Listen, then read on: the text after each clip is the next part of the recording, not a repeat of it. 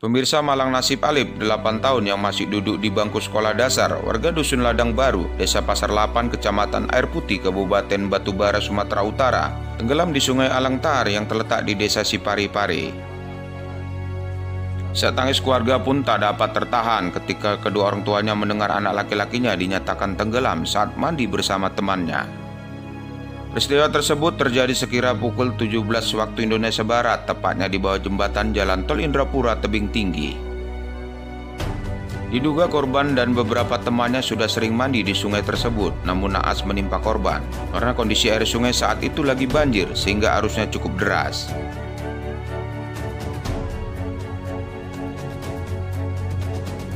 Pihak kepolisian Polsek Indrapura dipimpin oleh Kanit Reskrim Ibtu Pahmi langsung lakukan cek tempat kejadian perkara dan menginterogasi teman korban saat mandi di sungai. Pihak keluarga korban baru diberitahu oleh temannya usai sholat maghrib, sementara kejadiannya sudah dua jam sebelumnya.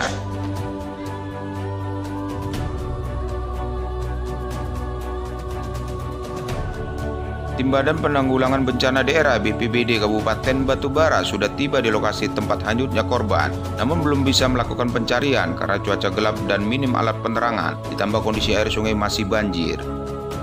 Menurut salah seorang saksi mata, Tukiran mengatakan saat itu sekira pukul 14 waktu Indonesia Barat, ia mau memasang jaring ikan di lokasi tempat jatuhnya korban, namun saat itu air sungai belum begitu meluap. Tepatnya di bawah jembatan tol, ada lima orang anak-anak lagi memegang joran pancing sambil memasang umpan. Dari keterangan teman korban disebutkan korban sebelumnya sudah diingatkan temannya agar tidak ke tengah sungai, namun korban tidak menghiraukan. Saat melihat korban tenggelam, teman korban berusaha menangkap korban, namun kondisi air yang deras, korban tidak sanggup menahan lebih lama. Korban masih terlihat hanyut 20 meter dari tempat mandi dan akhirnya korban hilang tenggelam terseret deras arus sungai.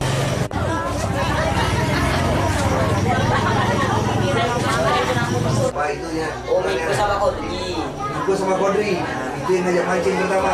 Ajak Baik. Siapa yang ngajak pertama kali idenya untuk berangkat ke sana? Pertama. Baru nampakmu udah gini-gini deh. Bukan gini aku udah berenang. Ah, yang ini, yang kalian bilang apa tadi? Ya, di sini kan. Nah, kalian kan di sini kumpul. Ya, semua pakaian di sini.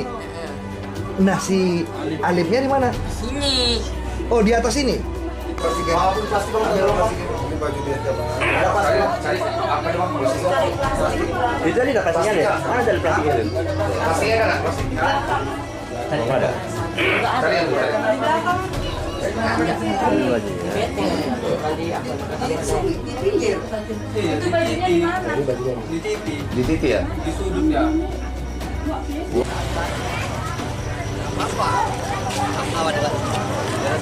Tadi kan aku mau masang jaring, jadi masang jaring nengok ke bawah gitu.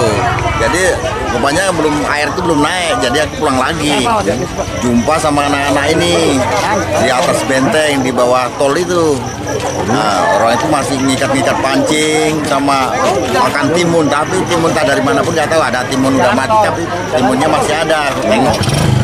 Jadi udah gitu, awak pun pulang lah. Setelah itu nggak tahu orang nggak jadi masang jaring. Itu aja ya. Kondisi air memang banjir ya Pak? Banjir. Mereka memang berlima Pak?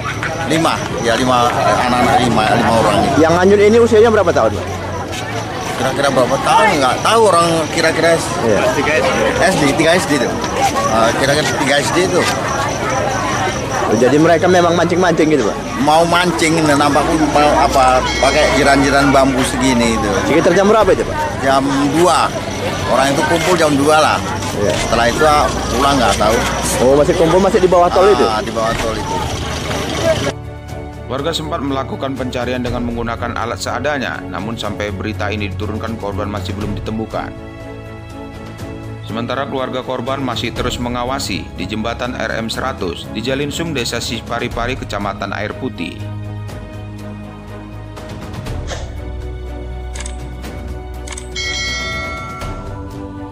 Dari Batubara, Sumatera Utara, Soleh melaporkan.